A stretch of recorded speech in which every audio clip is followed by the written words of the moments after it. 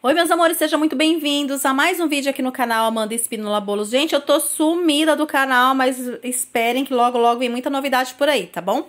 Então, gente, esse bolo que eu vou decorar agora é um bolo feminino, super lindo, aveludado, que vocês vão amar. Então, tem um bolo aí de 15 centímetros de diâmetro, por 10 de altura, massa branca, recheio de ninho cremoso com gelé de frutas vermelhas.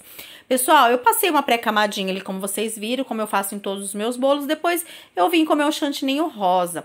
Esse rosa, pessoal, é um rosa normal, um corante rosa. E eu coloquei uma gotinha do marrom para dar uma pequena fechada, então ele fica um rosezinho, né?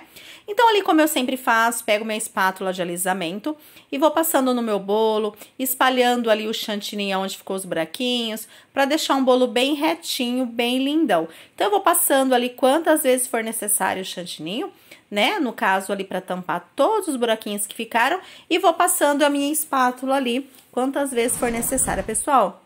Quem não se inscreveu aqui no canal, se inscreva, ative o sininho de notificações para você não perder nenhum vídeo. Eu prometo para vocês que eu vou estar tá postando vídeo toda semana e vai ter muito vídeo legal por aí, tá bom? E então, pessoal, eu tô com uma, muitas novidades, né, chegando por aí. E aí, logo, logo, eu vou estar tá passando para vocês, tá um pouco corrido, mas logo, logo vou estar tá divulgando tudo isso aqui para vocês no canal. Aí, gente, ó, eu fico, peguei só, apoiei uma espátula ali no bolo. Você pode fazer isso com uma colher, tá? Uma colher de chá, de café.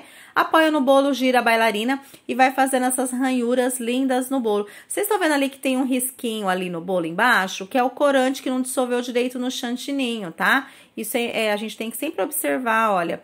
Mas ali pra mim não teve problema, porque depois eu vou fazer ali, ó, um aveludado, então acaba que tampa um pouco, tá? Mas a gente tem que observar, quando a gente tá colocando o corante no chantilly, no chantininho, a gente tem que mexer muito bem para não ficar é, um pedacinho, um pouquinho de, de corante ali que não dissolveu, que aí estraga o nosso bolo, né? Gente, ali na minha bombinha eu tenho é, leite ninho, tá? Leite ninho e tenho o pó para decoração, é o rosé, tá? O dourado rosé. Ou pode ser o cobre também, que vai ficar essa mesma cor. Então, eu coloquei ali, tá vendo? Tá um pouco de dificuldade na, na bombinha, porque é entope. Então, você vai batendo ali, ó, tá vendo? Aí sai bastante, vira uma bagunça a cozinha, um pó danado na cozinha. Mas vale a pena porque o bolo fica muito lindo com esse efeito aveludado. Então, ó, você vai dando umas batidinhas na bombinha e aí vai saindo, tá?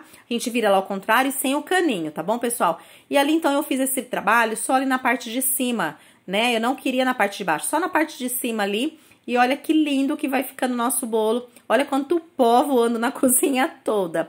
Mas vale muito a pena. Depois a gente limpa o prato, tá, gente? Sempre limpando o prato, para deixar um, um, prato bem limpinho pro seu cliente. E ali eu peguei os granulados, aquele em floco, sabe? Coloquei também esse pó para decoração é, dourado rosé. E aí fica aí essa tonalidade linda. E eu vou colocando ali com a colher no bolo para dar esse toque todo especial no nosso bolo, vai ficando um trabalho muito bonito. É uma decoração simples, fácil, né? E muito linda, um bolo, um bolo feminino lindo que a gente vai deixando. Depois, pessoal, eu coloquei o topper que a minha cliente escolheu. E olha que coisa mais linda que ficou o nosso bolo, né? De gratidão. Pessoal, esse foi o resultado de mais uma decoração aqui no canal. Espero muito que vocês tenham gostado de mais essa inspiração. Um grande beijo, fiquem com Deus e até o próximo vídeo, pessoal. Tchau!